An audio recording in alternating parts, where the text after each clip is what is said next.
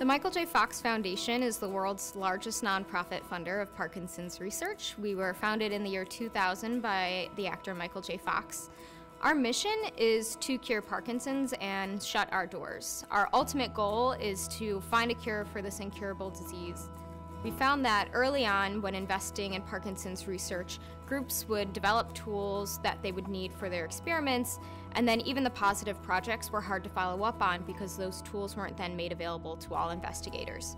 So we decided to take a proactive approach to this problem by working with Parkinson's disease investigators and companies to develop critical research tools and then make those widely available to all investigators. At the moment, much of my research is really aimed at understanding signaling pathways involved in Parkinson's disease. But we work in a very collaborative manner, so we often do a lot of our research in collaboration with foundations such as the Michael J. Fox Foundation and also many leading clinicians. My lab specializes in, in studying a class of enzyme known as protein kinases that mediate the phosphorylation of, of proteins in cells to regulate biology. After 12 years of really hard work to identify the LRRK2 substrates, we identified RAB proteins as the physiological substrates. This was hugely exciting, especially because the function of the RABs was, was strongly linked to Parkinson's disease.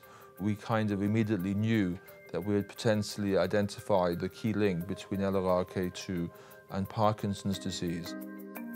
Interestingly, LRRK2 encodes protein kinase, and it was known that the mutations in the LRRK2 kinase increase its catalytic activity, but it was not known what its biological function was.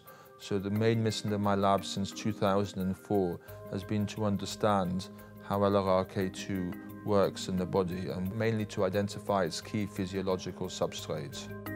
Before we had the tools to study RAB protein phosphorylation, the research was extremely frustrating because we just couldn't really assess the LRRK2 pathway in a cellular system and it really was a major barrier for progress. Our relationship with Abcam started about 10 years ago. We decided that a key gap in the field was good antibodies toward the LRRK2 protein and modified versions of this protein. Since that date, we've made 36 different antibodies available through Abcam, and these have been highly impactful for the field.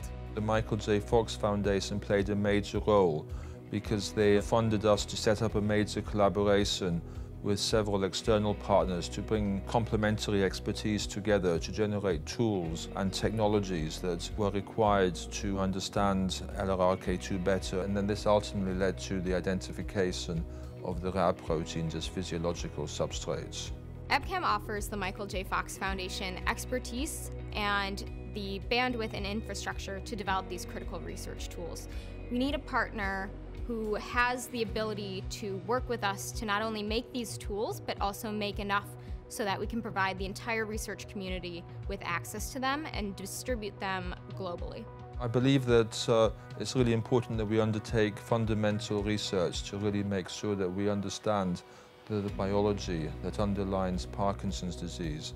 But at the same time, it's really important that we, we try and translate this, these findings to work with companies and clinicians to develop better treatments that will lead to improved diagnosis and even hopefully a cure of Parkinson's disease in the future. And collaboration, therefore, will be extremely important to achieve this.